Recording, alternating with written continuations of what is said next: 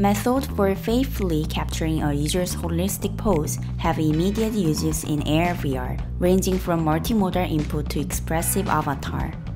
A crucial component is pose of the mouth, which humans use for speech and facial expression.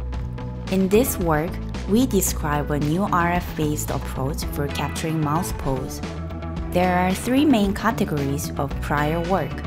Camera-based methods, which are accurate but computationally intensive and privacy invasive.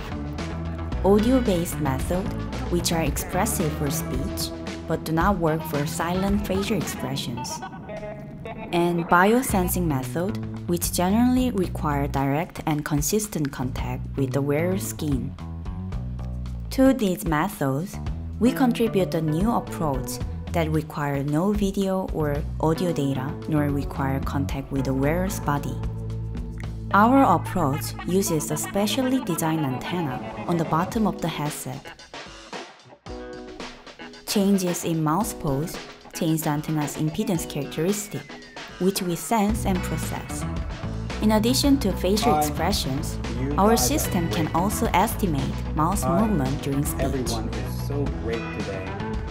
Hi. Hello. Hello.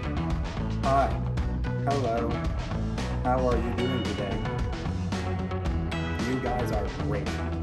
Our research started with RF simulations of the headset and different facial expressions, which informed the design of the, our final prototype, including antenna topology and operating frequency.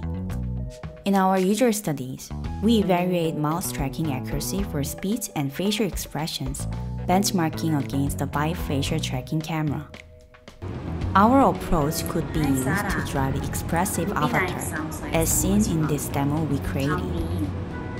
Can't wait to catch up and watch the movie with you. See you on Friday.